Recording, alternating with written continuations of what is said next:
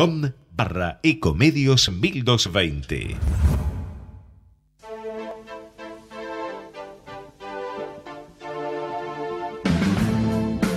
Al derecho y al revés. Las dos caras de la realidad. El yin y el yang de los temas actuales.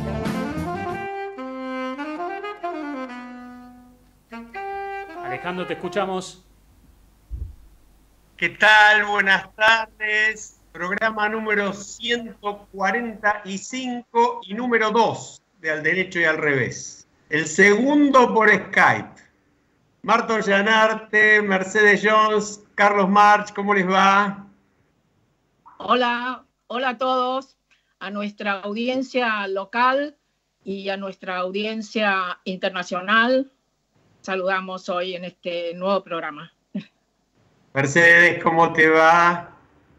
Bien, agradecida de poder estar haciendo este programa en el medio de la densidad y la conmoción que genera el COVID-19 y nosotros tratando de comunicarnos de manera tranquila y esperanzada.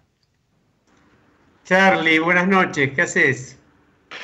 ¿Cómo anda, Sale? Vamos a tener que cambiar la, la introducción, porque más que las dos caras somos las cuatro caras ahora. bueno, yo, yo los quiero, les quiero proponer de entrada, además de agradecerles a los compañeros que están allí en el piso, eh, que realmente eh, es para destacar la cantidad de periodistas, de productores, de operadores, gente que mantiene viva la comunicación masiva a través de la radio, de la televisión, en este caso Gerardo Subirana y Fede Politi, que tienen todo el estudio para poderse pelear si quieren, se los dejamos libres. Eh, así que les mandamos un abrazo a ellos y eh, creo que necesitamos eh, hacer una muy breve referencia, no porque no merezca todo el programa y mucho más, a la fecha. Estamos en un 24 de marzo, 44 años después de aquel día fatídico de 1976. Y yo simplemente quiero hacer una, una reflexión muy breve y la voy a hacer con nombre y apellido porque cada uno tiene sus huellas personales en todo esto. Eh, mi prima, eh, Alejandra Lapacó Aguiar, hija de Carmen Lapacó, madre de Plaza de Mayo, línea fundadora, es una de las eh, desaparecidas. Quiero recordarla como la recuerdo siempre, porque está presente como está presente Chalita, Carmen Lapacó, Chalita, una persona que jamás tuvo una palabra de odio ni de rencor y dedicó su vida después de la trágica pérdida de su hija a mantener viva la memoria. Así que en ellos quiero homenajear y no solamente homenajear, sino recordar que como siempre, eh, sin memoria, como vamos a tener que, obviamente, y ojalá la tengamos, tener memoria de lo que estamos viviendo estos días y ojalá que cuando lo superemos, porque lo vamos a superar, hayamos aprendido nuevas lecciones. Marta. Bueno, has logrado conmoverme porque a medida que hablabas me aparecían también los rostros de tanta gente querida que ya no está. Y mm, este es un día triste doblemente por eh, la incertidumbre que estamos viviendo y por el recuerdo de aquel día tenebroso, aquel 24 de marzo. Creo que cada uno de nosotros debemos recordar lo que estábamos haciendo ese día. Yo recuerdo perfectamente ante la eh, sensación de que eso ya se venía, uno estaba continuamente mirando televisión y cuando habló Videla, yo me puse a llorar y no paraba, no paraba de llorar. Y mi marido, Osvaldo Sivak, me abrazaba, me consolaba y yo le decía, esto que se viene es terrible, Osvaldo, es terrible. Y no es que estuviéramos a favor del gobierno de eh, Isabel Perón, ni mucho menos, pero sí eh, yo tenía la convicción, y lamentablemente fue así, de que lo que se venía iba a ser mucho peor. Lo que con el paso del tiempo no entendí es cómo a algunos se les ha ocurrido eh, declarar feriado a este día. Yo, yo no lo entiendo. Si alguien se hubiera puesto contento con este feriado, es justamente el tenebroso Videla. No lo entiendo. Mercedes. Sí, la escuchaba a Marta y pensaba eh, que todos estamos eh, haciendo foco en la memoria. Y recordaba que Humberto Eco llamó la atención ya en el año 2014, le escribió una carta abierta a su nieto, eh, es decir, a los millennials, donde les planteaba que eran una generación que carece de conocimientos generales de la historia. Es decir, que para la gente joven, todo esto que podemos relatar cada uno de nosotros con sus propias experiencias es algo ajeno. Y creo que relatar a los jóvenes con esta intensidad y con este sentimiento la propia experiencia del pasado es lo que nos permitirá instalarnos en el nunca más e ir construyendo con ellos de manera colectiva un futuro diferente. Pero me parece que es fundamental el testimonio y el, relato y el legado de este tipo de memoria vivida. Charlie, desde, desde otra mirada generacional.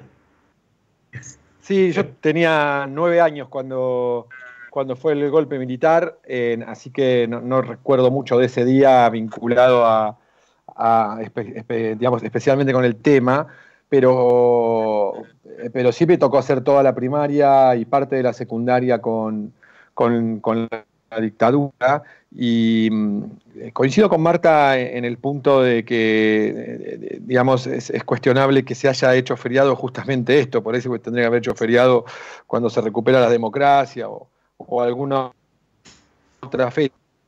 No nos gusta, ¿no? Como celebrar las muertes en vez de, los nacimientos.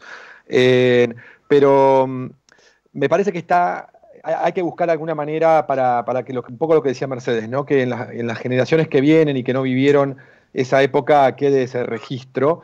Y sí me gustaría recordar a, quien fue fiscal en, en, el juzgamiento, a Julio César Estracera, porque me parece que fue una de las personas que, más allá del momento histórico que le tocó vivir, su persona en sí mismo, digamos, reivindica la justicia, ¿no? Es decir, cuando uno mira a, ciertas personas, dice, ojalá la justicia sea como estas personas. Bueno, creo que Estracera en ese sentido era, un ejemplo para, la justicia, así que me parece que está bueno recordarlo.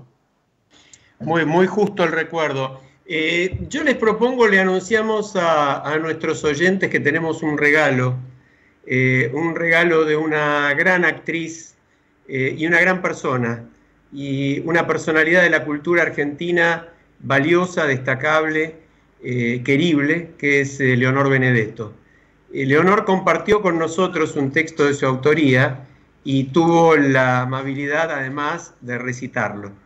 Eh, vamos a obsequiárselo y a disfrutarlo junto con nuestros oyentes. Gerardo, la, la escuchamos a Leonor. De modo que la existencia era esto, era el otro, era mi vecino, era mi hermana, pero yo no lo creí. Y vengo siendo como un ser solo en mis movimientos, en mi día a día en mis pensamientos. Pensaba que podía salvarme en soledad. Y mira que me lo vienen diciendo desde hace siglos. Ama a tu prójimo como a ti mismo. Y cada vez que Sartre me decía el infierno son los otros, yo pensaba para mis adentros que también pueden ser todo lo contrario. Pero nunca me dediqué a cultivar el paraíso. Y me dijeron, y me dijeron, y me dijeron. Y talé árboles y maté animales, ni siquiera para alimentarme o para la venta. Por pura diversión nomás. Y Borges me dijo que soy nadie y que soy todos, y que en las grietas está Dios, que acecha. Pero pasé de largo y no lo vi. Y me lo dijo mi abuela, sin palabras, pero con su ostentosa austeridad. En el jardín de las delicias había hígado frito con cebolla y tortas fritas. Y un día llovió buñuelos que se engancharon a las ramas de un espino, dulce de zapallo hecho con cal y muchísima paciencia, uvas chincha en la parra, rosas chinas y limones y gallinas. Y en vez de quedarme debajo de la parra y al escuchar que cerraban las escuelas, metí a toda la familia en el auto y me fui al mar mientras los otros morían, sin darme cuenta de que también me moría yo. Todo eso está lejos, me dicen. Aquí, donde habitamos los buenos, no va a llegar. Nosotros usamos pañuelo celeste, van a morir los verdes. El que abandonó los hospitales fue Caín. Yo soy Abel, vengo a salvarlos. Conduzco un barco lleno de gente que quiere ser feliz. Eso sí, tienen la piel oscura y son muy flacos. Yo no los quiero, yo tampoco, que no se acerquen, que no entren. La felicidad no existe, tendrán mal karma. Cada uno tiene lo que le corresponde. ¿Por qué no trabajan? Que se vayan al campo. Si los dejamos entrar, roban y violan y nos matan. Y aquí hago una pausa de siglos, de días, de minutos, y me pongo un barbijo y me froto con alcohol las manos. Y hablo por Skype con mi familia en España, con mis amigos en Italia, en Suecia, en Inglaterra. Y todos tienen barbijo y la botella de alcohol al lado y mucho miedo. No hay dónde ir sino hacia adentro, me dijo Doris Lessing. Y yo no le creí. Tremendo, ¿no? Tremendo. Fantástico, fantástico. ¿eh? Em, muy conmovedor. Leonor es una querida amiga, es una gran actriz, todos lo sabemos, que no es poco, pero esencialmente es una dama de la palabra. Ojalá nos esté escuchando, quiero transmitirle un enorme abrazo. Sí, abrazo y agradecimiento. Eh, yo creo que en estas circunstancias tan duras tenemos que ir para adentro, como dice ella, para desde adentro estar todos juntos. y la poesía, la literatura, el arte, eh, nos acerca quizás más que nunca y así debe ser. Mercedes.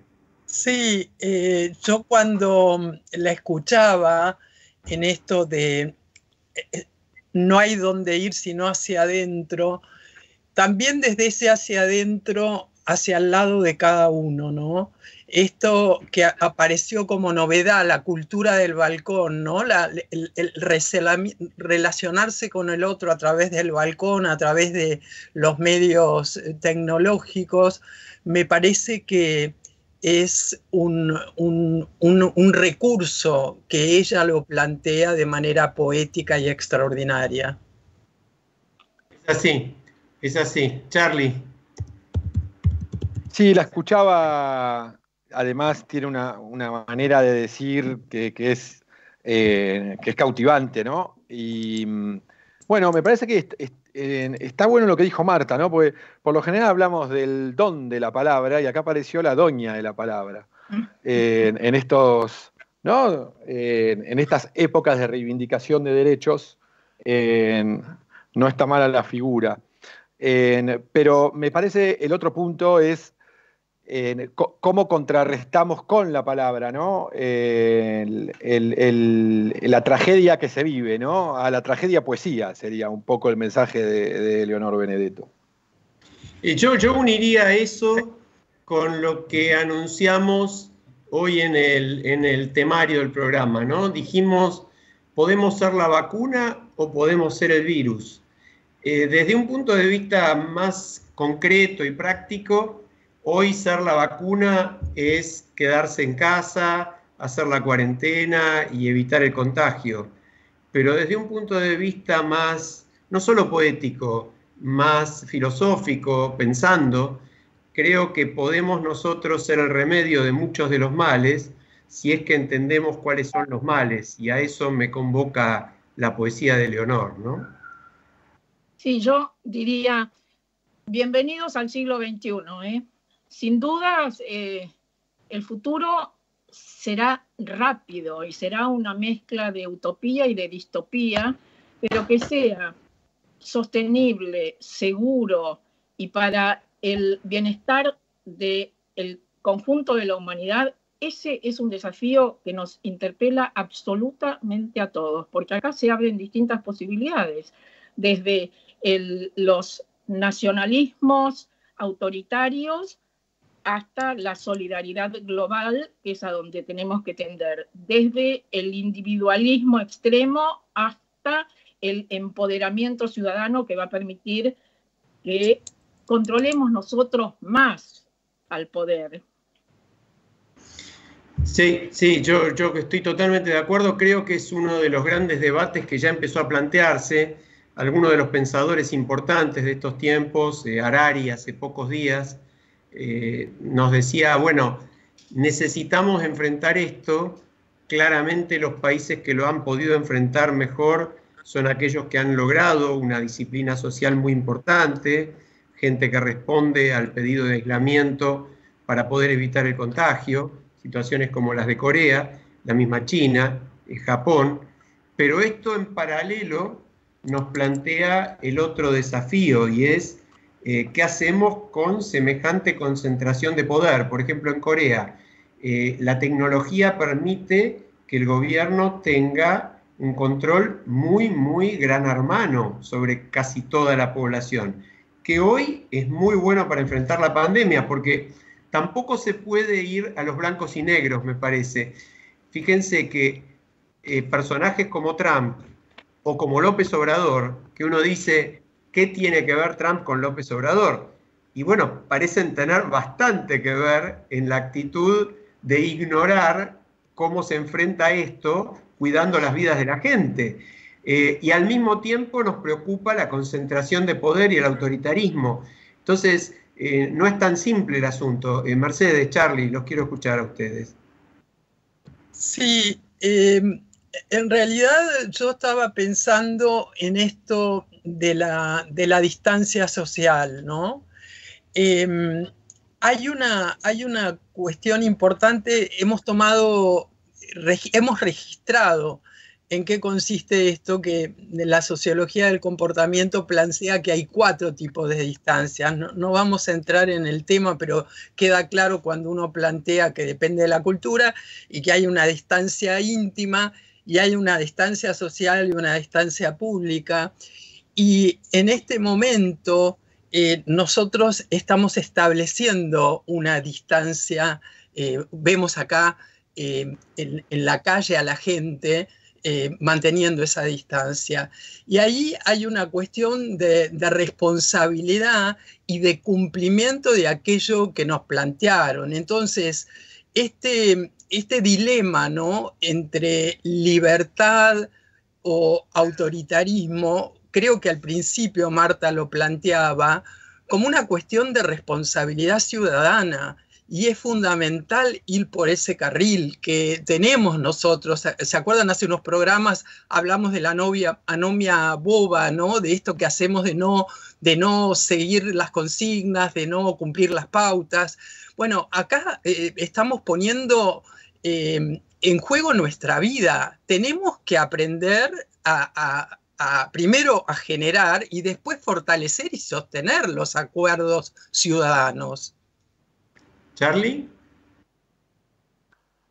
Sí, a mí, lo, que me, prendo de ahí del último comentario de Mercedes con respecto a, la distancia social y, claramente la distancia social es fundamental para, poder mitigar los efectos del virus, pero por otro lado lo que yo estoy viendo es mucho vínculo de calidad, digamos, hay redes que están operando eh, y linkeándolo con el tema que, abrió el programa, 30 años de democracia, más de 30 años de democracia continua, nos han dado evidentemente un, ejercicio de, articulación de vínculos facilitado por la tecnología, obviamente, que, eh, que en otro momento hubiese sido, digamos, o muy difícil sin la tecnología o impensado, obviamente, en, épocas de, gobierno militar. Eh, yo quiero rescatar eso porque lo vengo percibiendo, incluso, eh, digamos, vengo viendo vínculos de calidad entre actores que ocupan segmentos distintos de nuestra sociedad y yo creo que es así como es fundamental la distancia social para mitigar el virus, es fundamental el vínculo de confianza para salir de las pandemias. Y de acá no solo me refiero a la pandemia de, salud, sino me refiero a la pandemia de pobreza, a la pandemia de violencia. Digamos, tenemos muchas pandemias dando vuelta que necesitamos eh, cortar con vínculos de confianza y articulación social. Eh, eh, como, Dale, Marta. Dale, Marta, como Decía, como decía Leonor, eh, no hay a dónde ir sino hacia adentro, y uno hacia adentro para vernos cada uno de nosotros individualmente y para vernos como colectivo también. Y recordaba que leí uno de estos días algún artículo que decía, no está tan mal irse cada tanto al carajo en el sentido eh, de la palabra carajo, que es esa canastita que está en el palo mayor de las naves, a donde se suben para ver más lejos y mejor, ¿no? En ese sentido, bueno, quizá deberíamos irnos un tiempo al carajo para poder salir fortalecidos, ¿no? Claramente, claramente de alguna manera nos fuimos porque no tuvimos más remedio. Eh, yo los quiero invitar a escuchar eh, un audio muy cortito de un destacado científico argentino, el doctor Leonardo Cohen, querido amigo, eh, investigador, neurólogo muy conocido, muy famoso, trabaja hace muchas décadas en el NIH, en el Instituto Nacional de Salud en Washington, y nos cuenta brevemente cómo es su vida en la cuarentena. Gerardo, lo escuchamos al doctor Cohen. Hola, un abrazo grande a los amigos de Al Derecho y al Revés. Es un placer eh, comunicarme con ustedes desde Bethesda, Maryland, que queda más o menos eh, a 10 kilómetros del centro de Washington, en Estados Unidos. Es para compartir un poco la ah, nueva vida en la que, ah, en la que estamos. Eh, primero trabajando desde casa, habiendo movido toda la operación de investigación a, un ámbito eh, digital, comunicándonos permanentemente por teleconferencia, no saliendo de la casa, viviendo eh, esta nueva situación que presenta nuevos desafíos, que presenta nuevas soluciones, que presenta, eh, en fin, una manera de continuar la vida y de seguir viviendo. Eh, con la familia en lugar de abrazos, en lugar de asados. Ahora existen teleconferencias que las hacemos a través de ah, tres países diferentes donde están eh, miembros de mi familia en este momento. Tratando de hacer deporte a la mañana, después sentándome a la computadora y trabajando por, por internet todo el, todo el resto del día hasta la tarde, en que de vuelta hacemos ejercicio como para no esclerosarnos demasiado. Bueno, un abrazo grande para todos y eh, hasta la próxima. Bueno, no creo que sea nada muy distinto de lo que cada uno de nosotros trata de hacer, ¿no? El, tema de las rutinas. Eh, yo quería cambiar un poquitito el tema, volver, sin, sin dejar de volver a la historia de que nosotros somos la vacuna y hacer una mención a algunas cosas que se caen, por suerte, y que posiblemente podamos terminar con ellas. Una de ellas es la de eh, algunos movimientos mal llamados antivacunas, esa gente que se ha opuesto, por ejemplo, a vacunar a sus hijos contra el sarampión y que de alguna manera es la gran responsable de que hayamos vuelto a tener brotes de sarampión, enfermedad largamente superada en el mundo. Y yo me planteaba la reflexión, ¿no? Hoy cada uno de nosotros es la vacuna. Eh, ¿A quién se le puede ocurrir en su sano juicio pronunciarse en contra de la vacuna? Pero, los escucho a ustedes, lo uno con otra reflexión. Eh, del mismo modo ¿a quién se le ocurre en su sano juicio que se puede escapar lejos para salvarse? O que puede, como decía el propio poema, porque es un poema el texto de Leonor, cargar a la familia en el auto e irse a la costa, ¿no? Me parece que es el tipo de actitudes irracionales que quizás tengamos la suerte ante esta crisis tan terrible de que queden muy, muy descalificadas. No sé, Marta, ¿qué te parece? Sí, estoy de acuerdo, pero insisto que, eh, lo que lo que sucede en el futuro va a depender más de nosotros que de los sistemas de salud, porque los sistemas de salud, algunos buenos, otros no tan buenos, otros excelentes, seguramente no van a dar abasto y nosotros tenemos que hacer lo imposible para que eh, aquellos que lleguen puedan ser bien atendidos y ojalá lleguen la menor cantidad posible, ¿no? Mientras esperamos que nos llegue a todos la posibilidad de una vacuna que pensamos salvadora. Mercedes.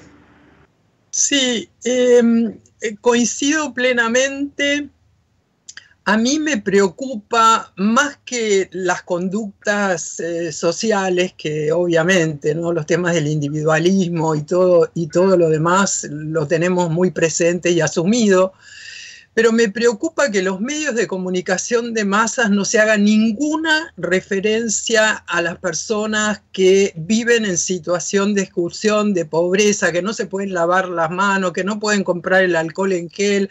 ¿Y cuáles son las estrategias en ese caso? A mí me parecería fundamental que nosotros como ciudadanos y ciudadanas, por lo menos dentro de la ciudad de Buenos Aires, exijamos que se informe, que se nos informe a todos de manera equitativa, digámoslo así. Charlie. Sí, Ale, cuando vos planteabas la dicotomía entre virus o vacunas, yo la verdad que no me identificaba con ninguna, pero sí me identificaba con vacunados.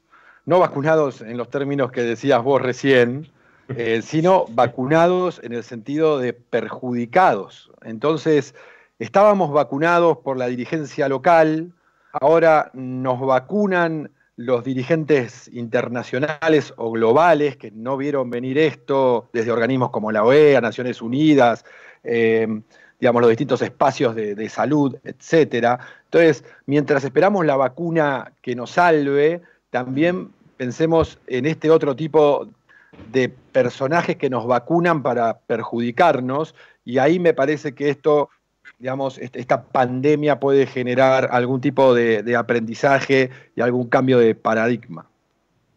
Eh, yo quiero aprovechar para eh, leer algo que es noticia, pero que no lo vi en los medios. Muy rápido lo voy a leer. Dice, hacemos un llamado a la acción urgente en las siguientes áreas, y voy a decir quién lo firma al final porque es muy importante. Continuidad de negocios, seguridad de ingresos, solidaridad son clave para prevenir la propagación y proteger medios, vidas y medios de vida y construir economías y sociedades resilientes. Para esto la economía global necesita medidas y políticas urgentes que lleguen a la economía, eh, que lleguen, perdón, eh, a la economía, a los trabajadores y a las empresas, especialmente las pequeñas y medianas, la interrupción de la cadena de suministro de productos médicos, alimentos y otros elementos esenciales debe minimizarse a través de la cooperación intergubernamental. Destacamos en los términos más enérgicos el importante papel que juegan el diálogo social y los interlocutores sociales en el control del virus, en el lugar de trabajo y más allá, pero también para evitar la pérdida masiva de empleos a corto y mediano plazo se necesita una responsabilidad conjunta para el diálogo para fomentar la estabilidad. La coordinación y coherencia de las políticas es esencial. Las Naciones Unidas y especialmente la Organización Mundial de la Salud deben tener en cuenta la necesidad de proteger el empleo y los ingresos a través del fortalecimiento de las medidas de protección social, tanto en la resolución de la pandemia como en el establecimiento de las bases para el empleo y las condiciones económicas para la recuperación y deben reconocer el papel clave que desempeña la Organización Internacional del Trabajo y colaborar para abordar con urgencia las consecuencias sociales y económicas. Es un reclamo muy, muy fuerte de la Organización Internacional de Empleadores, de la cual participa la UIA, me viene de allí la comunicación, reclamando que los gobiernos del mundo se pongan los pantalones y tomen las medidas que hay que tomar frente a la crisis en forma conjunta. Caminemos hacia la solidaridad global. Ese es el camino que nos indica un futuro mejor para todos, ¿no? Y porque daría la impresión de que este tema justamente, el tema de cómo viene el futuro después, eh, y aún la propia coordinación contra la pandemia. Vivimos lo que decimos siempre, en un mundo globalizado irremediablemente y donde no hay dirigencia global. Es, es muy difícil así, estamos librados a lo que pasa en cada país. Ahora, en ese sentido, Charlie, yo sí agrego a lo tuyo. Me parece que en la Argentina, en ese sentido, se están haciendo mejor las cosas, mejor que lo que se hacían en otro momento y mejor que lo que algunos, por lo menos yo, podía esperar en cuanto a reacción frente a una crisis semejante. Mercedes, te escucho.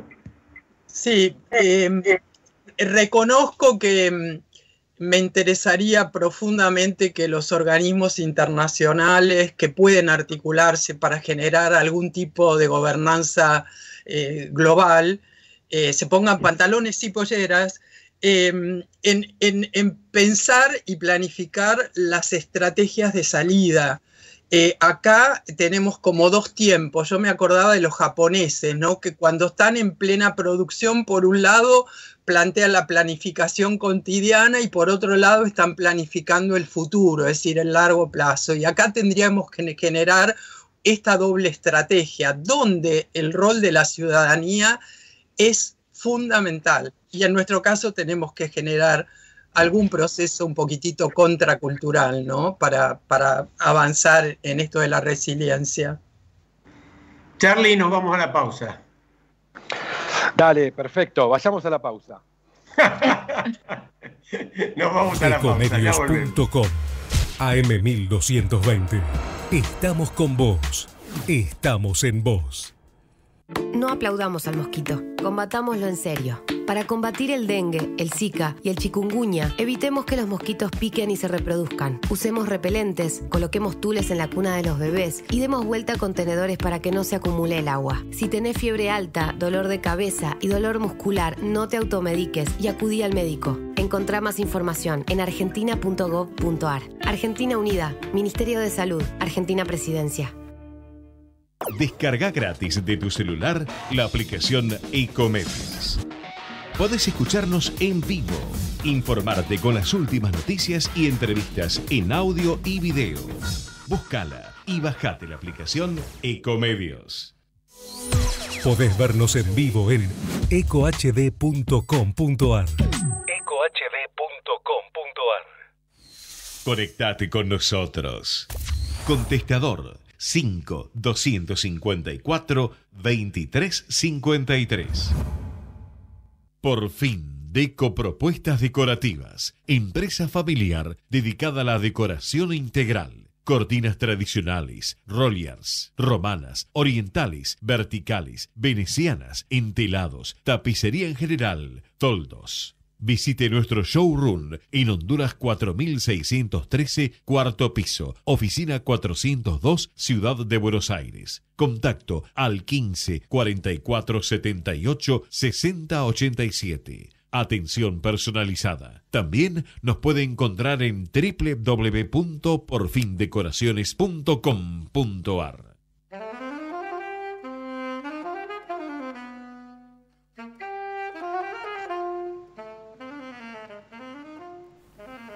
Vamos Alejandro. Bueno, estamos de vuelta y queremos recordarle a nuestros oyentes que además de los llamados que nos pueden hacer, también pueden comunicarse por WhatsApp al 011-5575-9133 y encantados los vamos a pasar los mensajes al aire. Eh, si les parece, vamos rápidamente al informe de nuestro corresponsal de Washington, muy interesante sobre un tema tapado de alguna manera por el coronavirus, pero que es significativo para la región. Lo tenemos a Marcelo de Jesús entonces informándonos, Gerardo. Hola Alejandro, Marta, Mercedes, Carlos. Hoy les envío esta columna sobre el futuro de Venezuela y las elecciones de la OEA.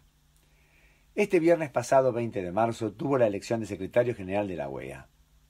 El hecho de que no se haya suspendido por el virus es todo un dato sobre la importancia de esta elección con un gran debate ideológico de fondo. Tres semanas antes había sido invitado a la OEA para un debate con los candidatos. Uno era Nicolás Almagro, otro María Fernanda Espinosa y otro Hugo de Sela, propuesto por Perú, pero que días antes de la elección se retiró. Almagro, que buscaba su reelección, era además ex canciller de Uruguay durante el Frente Amplio, pero comenzó a variar su posición ideológica y fue un crítico muy duro del régimen venezolano. Tanto es así que Uruguay no había avalado su postulación. Recién, con la asunción de un nuevo gobierno en Uruguay, Almagro recibió entonces su apoyo. La embajadora Espinosa fue canciller de Ecuador durante el gobierno de Rafael Correa, entre otros cargos, y fue presidente de la Asamblea de las Naciones Unidas hasta septiembre del año 2019. La diferencia entre ambos es sutil en el lenguaje diplomático, pero profunda en sus consecuencias. Almagro postula una OEA con acciones más duras y claras, mientras Espinosa lo critica porque se arroga ser un virtual dueño de la voz de la OEA, en lugar de ser un representante de los países. En una entrevista a America Quarterly, Espinosa declaró que el rol de la OEA debe ser el de un mediador imparcial en los conflictos regionales y no ser parte de ellos, debiendo aportar una solución, y ella sugería crear equipos de mediación. Respecto a la sociedad civil, tuve oportunidad de preguntar a los candidatos qué medidas tomarían para fortalecerla. La conclusión es bastante decepcionante. Hay 465 ONGs registradas que están a cargo de una sola persona y el presupuesto para las acciones con la sociedad civil es cero dólar. Llegamos así al día de la elección. Para su postulación, Espinosa había recibido el apoyo en general del Caribe anglosajón, mientras que Almagro había recibido, en general, el de los países continentales, y ambos contaban con casi igual número de votos. Pero el día de la elección algo cambió. Almagro ganó con 23 votos contra 10, más de dos tercios, y ni siquiera hubo segunda vuelta. Esto muestra que si Venezuela en mayor medida y Nicaragua en menor medida eran los factores para ver las acciones de la OEA en el futuro, en los próximos tiempos deberíamos estar viendo una OEA con mayores acciones respecto a ambos, supeditado, eso sí, a lo que pueda suceder con el virus. Los dejo y hasta la próxima columna. Bueno, muchas gracias Marcelo. Eh, realmente un reporte muy completo. Marta, ¿qué opinas? Eh, bueno, a mí me parece, como siempre, muy atinada, muy inteligente la columna y me parece muy bien que no se hayan suspendido las elecciones aún en esta época de pandemia, porque pudieron hacerse y el resultado me parece que es eh, interesante, es bueno que haya eh, triunfado nuevamente Almagro, si bien con menos cantidad de votos que en el 2015, cuando asumió por primera vez, pero creo que ha desempeñado una gestión loable. Y es muy extraño esto de la ex canciller eh, eh, perdón, ecuatoriana, que no fue ni siquiera apoyada por su propio presidente, el mismísimo eh, Correa. Algunos países, que son los que mencionaba nuestro corresponsal, lo hicieron. Y en el caso de Argentina, hubo un apoyo a esta mujer espinosa. No sabemos qué eh, personajes estuvieron fogoneando esta elección, pero por suerte el triunfo fue de Almagro y esperamos que realice una buena gestión por el bien de todos los países que integran la OEA, ¿no? Eh, yo cambio de tema, si les parece, porque Mercedes, quiero que nos hables de una iniciativa sumamente valiosa, de una de estas iniciativas solidarias que implican eh, una ayuda para los adultos mayores que están en aislamiento, porque uno de los problemas que no hemos tratado, porque el tiempo nunca alcanza para todo, es el de personas que están en cuarentena solas. Y eh, contanos de qué se trata. Mira, me quedé eh, gratamente sorprendida cuando en comunicación con eh, funcionarias del gobierno de la ciudad me enteré la idea que en realidad proviene de los propios vecinos y vecinas de nuestra ciudad, de la ciudad de Buenos Aires, donde espontáneamente eh, se empezaron a organizar para ayudar a, aquellas personas que sabían, personas mayores que sabían que vivían solas.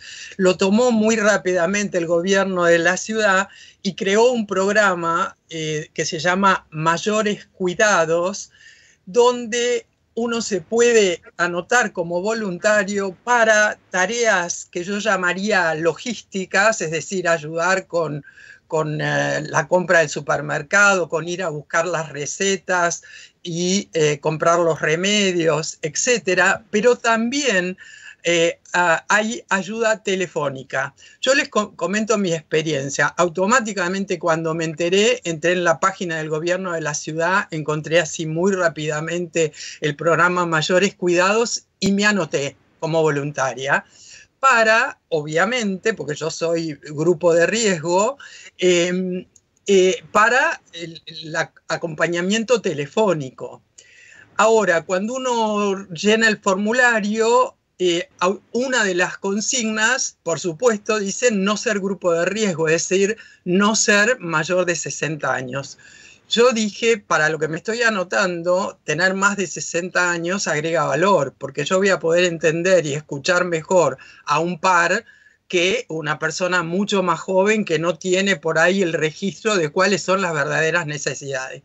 Y me encontré con un, con un problema que lo planteo acá porque eh, en una acción de ayuda real y, bien intencionada, las personas mayores, nos encontramos con una base de prejuicio enorme, con, con un ejemplo claro de viejismo. Es decir, cuando uno supera determinada edad, ya no es útil nada más que para que ser ayudado, no puede ayudar. Eso hay que cortarlo. Es decir, claramente una persona mayor de 60 años puede generar todo tipo de apoyo telefónico que sea necesario. Y desde ahí, eh, bueno, recomiendo a aquellos que pueden em, anotarse. Y eh, ya van, creo que 7.000 personas anotadas, lo cual, sí, Sí, por ahí más, esto era hoy a la mañana, todos los días se suman, ¿no?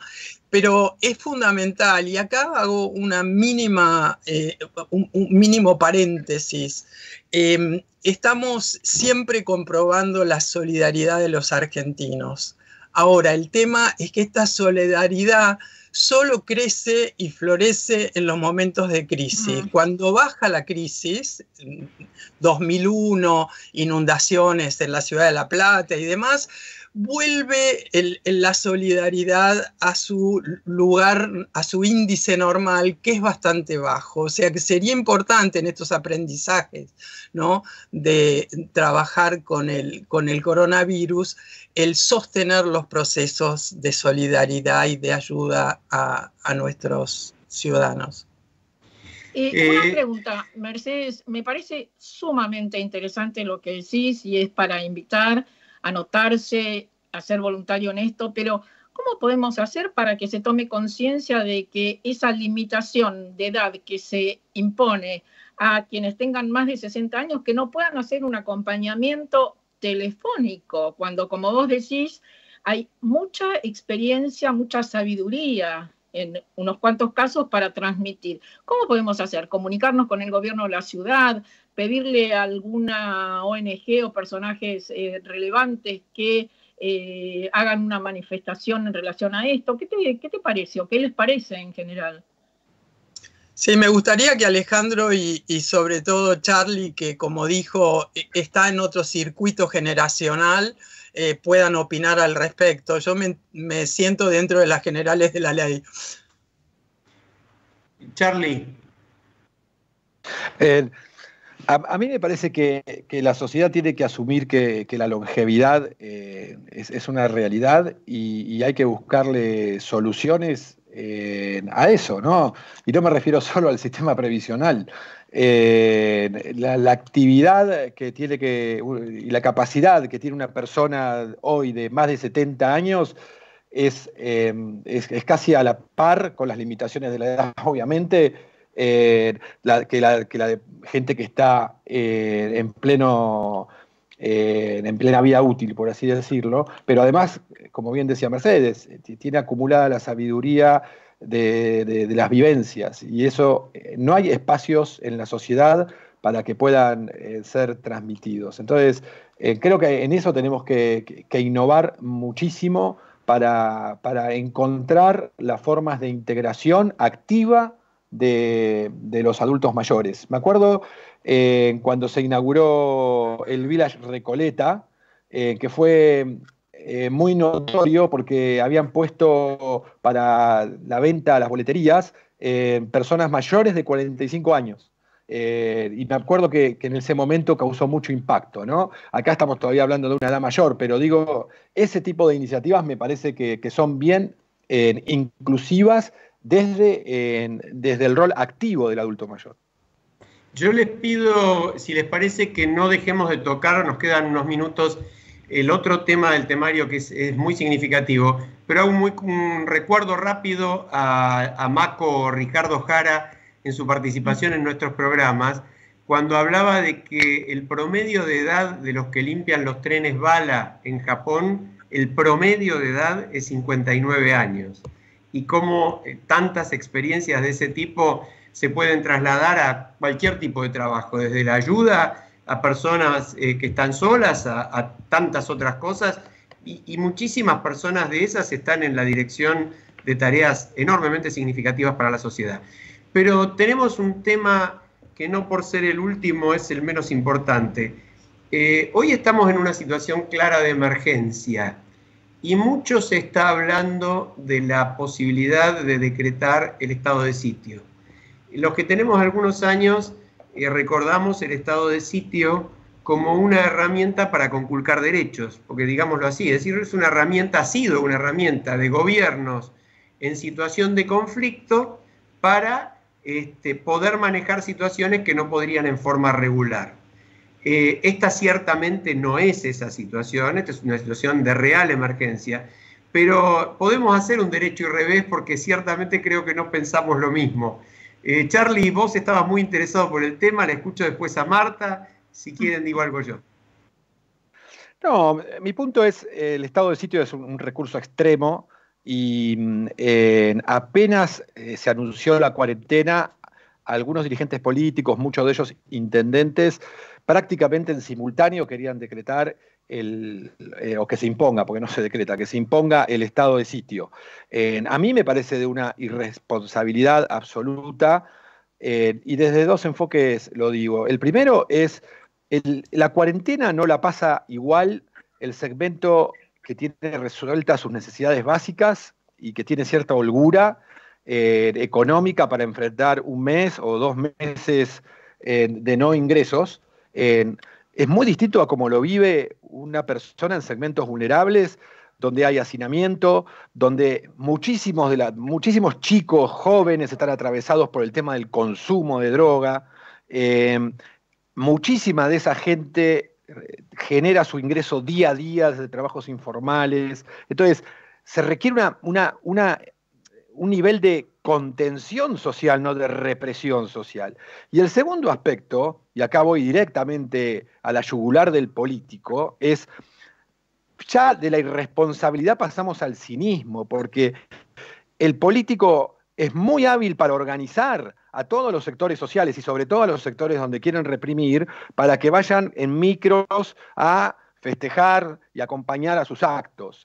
Ahí tienen una capacidad de movilización, ahí no le temen a nadie. Ahora, cuando se puede desbandar un poquitito la cosa, en estado de sitio. Entonces, hay un nivel de cinismo en muchos dirigentes políticos que, llama la atención. Por lo tanto, mi postura es, digamos, el estado de sitio tampoco se, se, impone gratuitamente, ¿no? Es decir, hay, un análisis, el, presidente lo propone, el Congreso lo, termina aprobando. Es un recurso de, última aplicación. Me parece que antes de llegar a esa situación hay muchísimas otras instancias para, para evitarlo, sobre todo en los segmentos vulnerables y corriéndonos del cinismo de aquellos dirigentes políticos que ya lo están pidiendo. Eh, Marta, antes de darte la palabra, me vas a perdonar, pero te voy a dar un golpe bajo. Te voy a mandar el saludo que mandan al programa los nietos Lombardi y Sivac que quieren que lo volvamos a hacer en vivo y que no dejan de extrañarte ni un minuto. Ay, no, me conmueve profundamente, me conmueve profundamente, pero gracias, los amo, los amo eh, y no me imagino yo sin, sin ustedes, por eso quiero abrazarlos pronto. y mm, en relación al estado de sitio, voy a citar a la queridísima María Elena Walsh. Eh, yo creo que ella estaría diciendo, como dijo en alguna oportunidad respecto de un tema similar, si esto ocurriera estaríamos retrocediendo en cuatro patas. Eh, me parece que el estado de sitio eh, no es eh, necesario en este momento, que el presidente se está manejando con mucha templanza y la oposición está actuando con eh, cordura y acompañando. Y si a esto le sumamos la sociedad civil que pueda ir adquiriendo mayor conciencia, me parece que el estado de sitio que los jóvenes deberían saber de qué se trata, porque fíjate vos qué eh, paradoja muchos jóvenes que son eh, los exponentes máximos de la libertad, del individualismo, etcétera, en esta circunstancia están diciendo, no, pero el estado de sitio sería bueno. Yo le pregunté a alguno, ¿pero vos sabías lo que es el estado de sitio? Y no tenían, no tenían idea, es decir, no tenían idea de lo que significa la suspensión de las garantías constitucionales, no tenían idea de lo que vivimos muchos eh, en épocas de estado de sitio. Así que a mí me parece, y por suerte, hay muchos dirigentes, eh, Charlie, que se están oponiendo, vos los pones a todos en este momento, me parece en la misma bolsa, pero no lo están, hay muchos que se están oponiendo, y me parece que es razonable esa actitud.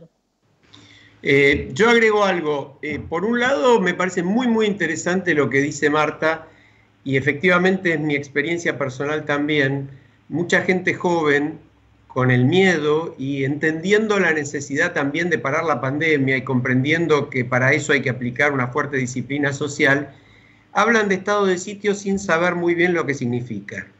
Pero hablan y están dispuestos a esto, y no es casual, y no es casual tampoco que toquemos el tema un 24 de marzo, porque lamentablemente esto es parte de la memoria yo, si hay algo, lo hubiera querido pasar, no hemos tenido tiempo y después cada uno lo podrá escuchar en su casa, pero eh, el tema, la memoria de León Gieco, me parece que es muy adecuado para escuchar un día como hoy, lo que le pasa a los pueblos que pierden la memoria. Ahora, ¿No lo podemos escuchar como cierre? Por ahí podemos pedirle a, Gerardo, si lo encuentra, escucharlo como cierre. Eh, pero lo que, quería, lo que quería comentar es una, sola referencia, una, una sola referencia a Mercedes Hago eh, que es jurídica pero que es muy práctica.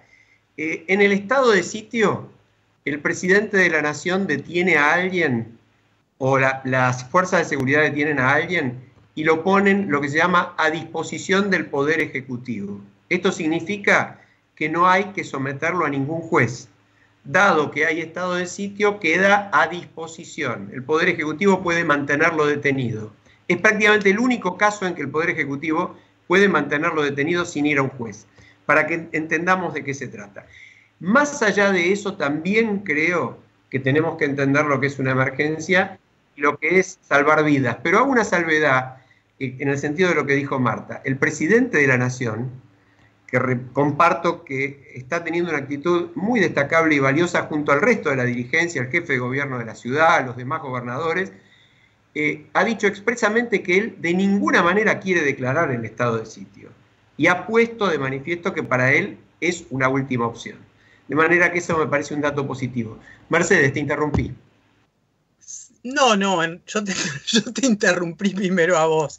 Eh, que eh, justamente yo empecé eh, a, reflexionar sobre esto del estado de sitio escuchando a León Gieco. Y, y, me quedó y lo anoté, porque no me acordaba del estribillo, ¿no? Todo está guardado en la memoria, sueño de la vida y la historia, pero al final dice, la memoria pincha hasta sangrar a los pueblos que la amarran y no la dejan dar, libre como el viento. Y ahí es donde se juntan estas dos reflexiones que hicimos sobre la memoria y el legado que la gente joven, esto que planteaba Humberto Eco, la gente joven no tiene memoria. Es responsabilidad nuestra el demostrar con, con, con, emociones lo que vivimos y no es un tema banal el estado de sitio, no es para poner orden, no, no podemos volver atrás. Eh, tenemos una, un revés más, porque Marcelo de Jesús desde Washington nos está diciendo que a él no le parece mal, como jurista, el estado de sitio, porque dice que de alguna manera también le da un marco jurídico a medidas de emergencia que si no están tomadas dentro de ese marco, terminan siendo inconstitucionales o ilegales. Son distintas posiciones, hay una interesante Roberto Bargarela en sentido opuesto a lo que acaba de decir Marcelo, eh, y otra de otro distinguido constitucionalista también eh, en un sentido más, más acorde con lo que dicen Marta y Carlos. Eh, Marta, si querés, vamos cerrando, nos quedan un par de minutos, pero yo creo que tus nietos te han dado a vos el derecho a, a seguir hablando. No, porque me voy a poner a llorar. ¿Podemos escuchar o no a León Gieco? Porque el indulto y el punto final a las bestias de aquel infierno. Todo está guardado en la memoria. Sueño de la vida y de la historia la memoria despierta para herir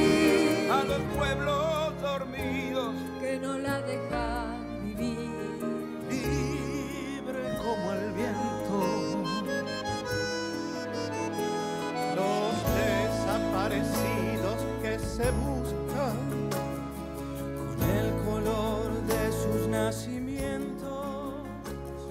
El hambre y la abundancia que se juntan maltrato con su mal recuerdo. Todo está clavado en la memoria. Bueno, eh, nos, dimos, nos dimos realmente un, un gusto porque mezclamos, empezamos con emociones, terminamos con emociones y hacemos derecho, hacemos revés y estamos todos juntos. Eh, yo les agradezco muchísimo, les agradezco a los mensajes que recibimos, eh, sobre todo a Leonor Benedetto, realmente hermosísimo lo que nos regaló, eh, a Leonardo Cohen su audio desde Washington, a Marcelo de Jesús la columna, y bueno, estaremos siempre juntos y trabajando y peleando, sobre todo Charlie me parece muy bien recordarlo por tanta gente que posiblemente ni siquiera puede vernos por la radio, ¿no? Sí, exactamente. Y para cerrar la polémica, más que estado de sitio es poner, ¿no? Es decir, pongamos en su sitio al Estado. Eh, Muy bueno. Y yo, yo voy a cerrar con eh, algo que dijo alguien que mencionó Charlie y que homenajeó con tanta eh, sinceridad e inteligencia el fiscal Estracera nunca más. Argentinos, nunca más. Hermoso final, nos vamos, le damos espacio a Voces y Memorias con Hernán Dobri. Un abrazo grande para todos y hasta la semana que viene.